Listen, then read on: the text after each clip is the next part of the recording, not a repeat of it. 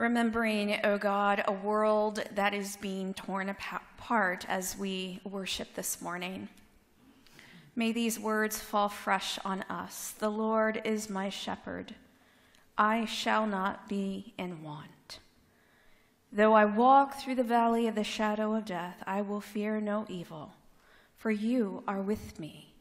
Your rod and your staff, they comfort me. In the name of the triune God, in and all, through all, and in all. Amen.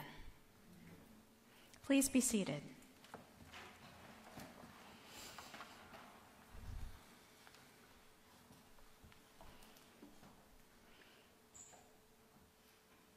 If you feel as though your head is spinning a bit after hearing the gospel this morning, I think you're probably in good company. This is another parable or short story that Jesus tells to make a point. Remember, parables aren't real, they are made up, but nonetheless, they serve a purpose. Using notions and ideas that are absolutely exaggerated and preposterous to make a point. That is what a parable is. Jesus uses them often when he teaches.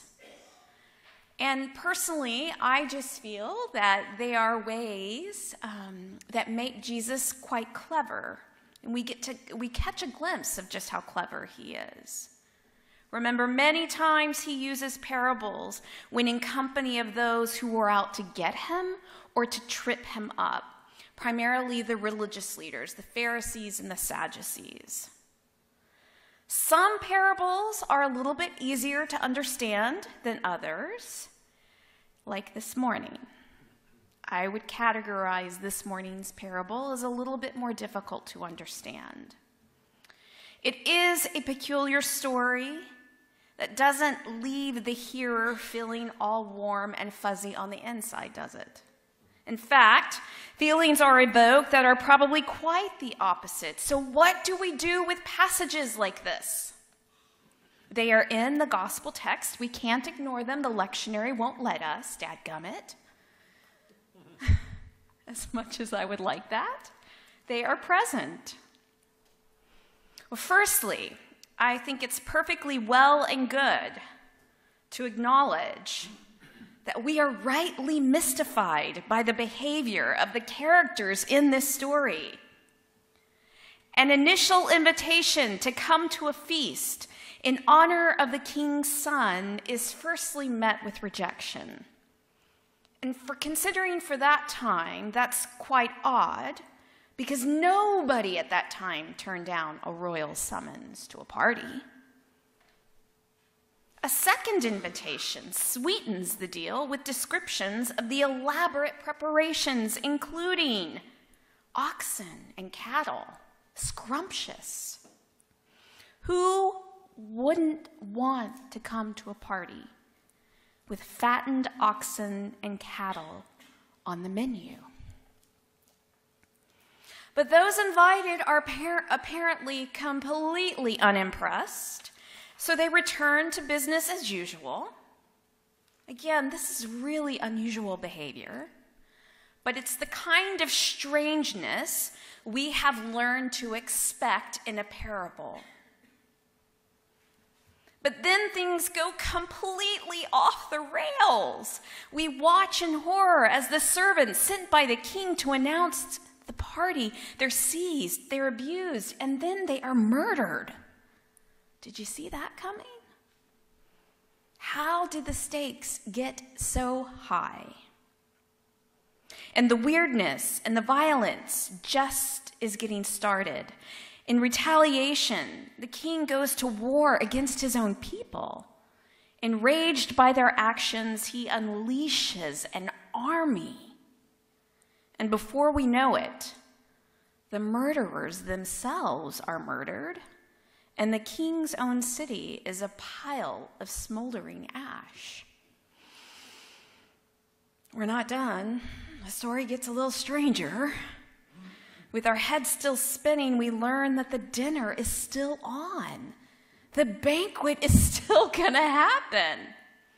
The invitations go out again. This time, though, to commoners on the main streets of the city that has just been obliterated. And as soldiers pillage and destroy, we learn that food for the banquet is still being cooked, prepared, and kept warm for the guests of the party. If this sounds absurd, it should be. It's a parable. But wait, we're still not done. With the party in full swing, the king throws open the banquet doors, comes in, and to his chagrin, finds that one of his partygoers, who really wasn't even invited to the party, isn't dressed properly. This enrages the king. And so he says, Friend, how did you get in here without a wedding robe? Receiving no satisfactory answer, he has the man bound, thrown out, and not just outside the hall, but into the outer darkness where there will be weeping and gnashing of teeth. Seriously, this seems a bit extreme, doesn't it? Of course, this man wasn't dressed for a party. He was literally pulled off the street at the last minute and told, Come to the king's party preposterous, exaggerated. Another parable. How could a king expect for someone off the streets to be properly dressed for a royal party? Well, that's the way the story ends. No real sense of redemption so you tell me, as a preacher, how do you find good news? How does one find gospel in the midst of this parable? Again, this is a strange and disturbing story. But after sitting with it, in some measure, I do believe it points to something that is worth saying. Will you give it a chance? Here's my best guess. At this particular time in the telling of this story, remember, there wasn't a message, there wasn't an understanding that the message of God was for everyone. It was for very few select people. However, in this story, although disturbing to say the least, the king, he invites. He invites those to the banquet that he thought would come firstly. But they didn't. And so he invited again. And this time, he invited every single person. He invited everyone. Okay. So you might ask, well, Mother Suzanne, what does that mean for me? How do I make sense of that in my life and in the context of what is going on in the world right now? And this is where it's helpful for me to pull back from the story just a bit and to recognize what the overarching message, what is being communicated.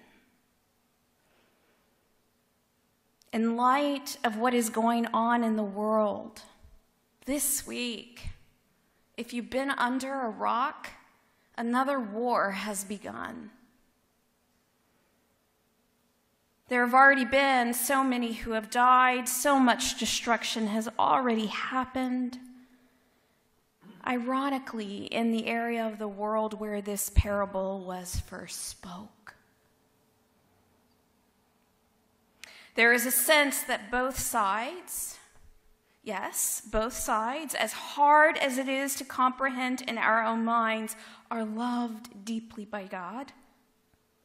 This is difficult for me to preach. This is difficult for me to write and think about, but it has to be said. As a reminder to us all that this is where God lands in the midst of these situations that are so far beyond comprehension. God continues to invite all of his creation to himself whatever and whichever side one is on. As disciples of Jesus, regardless of how layered and dismal this story may sound or the world may feel at this particular moment, as strange as it may be, I believe there are hopeful words in this text, despite the absurdities and the peculiarity. It speaks now, perhaps now more than ever. God is in all, working all together for good. And if we pull back, no matter how bad things seem or feel, God is continually calling his creation to himself, good and bad, rich and poor, because God is a God of expansive love, radical inclusiveness, and gracious hospitality. It never ends, whether there is a war going on or not.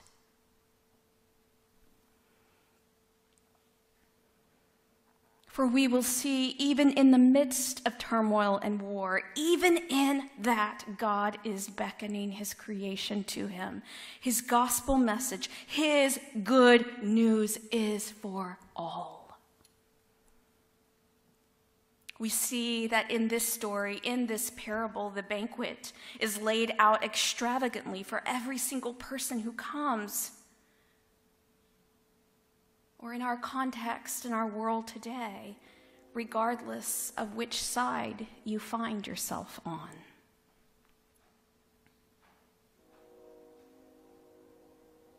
And bringing it even closer to home. For those who have never been invited or thought about, when they finally get to partake, when they finally get the invitation from the king for a new way, it is life changing. I caught a glimpse of that on Friday afternoon with our dear Lupe Ramirez. Lupe is a man who came to Grace several years back by way of our mobile food pantry. He was our director of traffic, and he did it really well. And the more he came on Thursday because he felt included and welcome, we slowly began to see how every single time the doors of this place were open, Lupe was here. In fact, in the horrific winter storm of 2021, it was Lupe who discovered that our parish hall was completely underwater. He loved being here. He loved being in this place because he was accepted, he was welcomed, and he was loved. Unlike any other place or group of people he had ever known. He had never felt that before coming here. So, while at the same time he's experiencing this radical inclusion and love by a church, Lupe was also undergoing his own serious health struggles.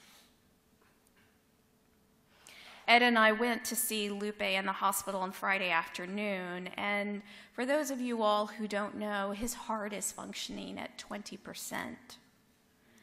And his congestive heart failure has basically taken over.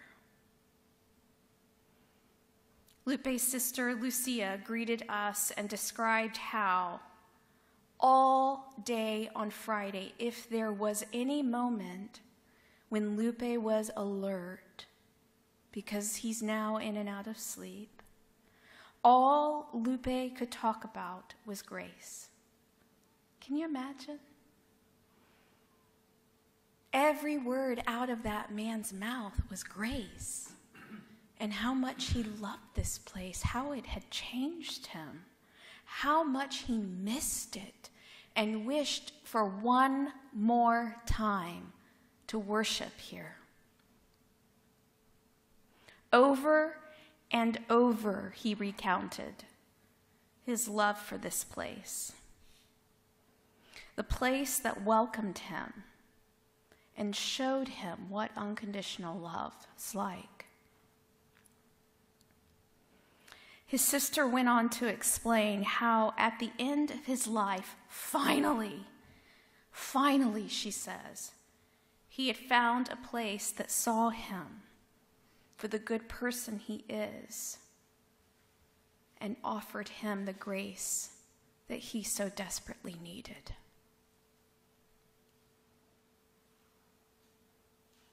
So, prayers, the sacrament of the body and blood of Jesus, as well as the anointing, were graciously given to our friend Lupe. And I reminded him with all of that the presence of Grace Episcopal Church. His church family was right there in the room with him.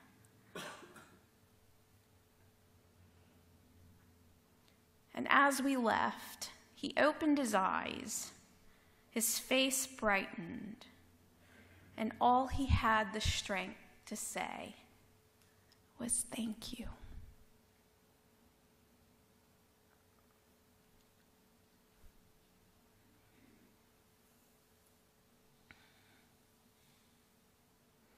When Jesus uses a parable to teach, his main desire is for the kingdom of God to be made known.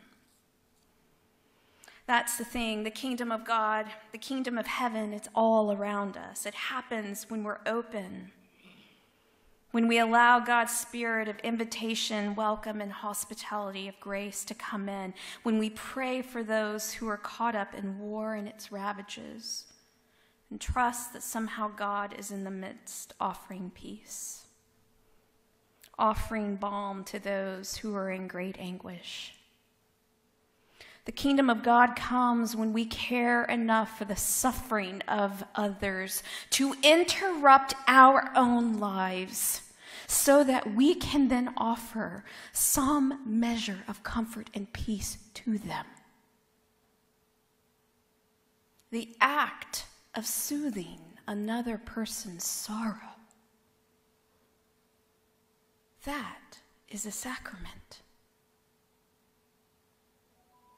When we remember those who are never invited or seldom invited, and we extend a gracious act of welcome and invitation, not just once, but we make it a habit. We do it over and over and over again so that for once, those who have gone without for so long can experience something new they can experience what community and family means.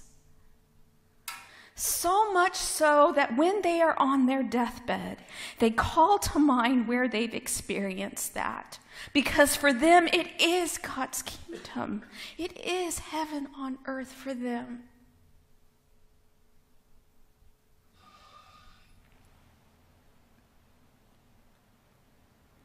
So, this morning, however you come and whatever you bring the sorrow, the joy, all of it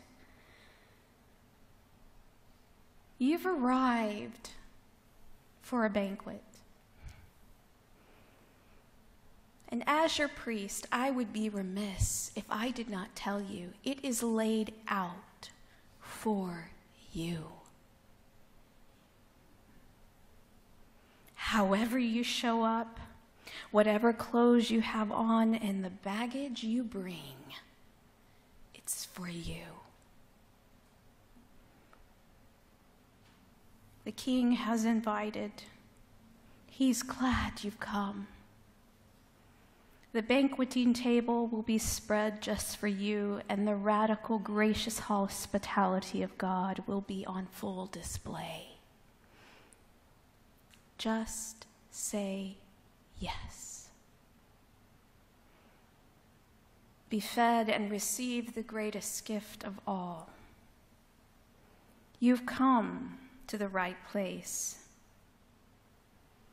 And mostly, by saying yes, you've said yes to his invitation of love and forgiveness.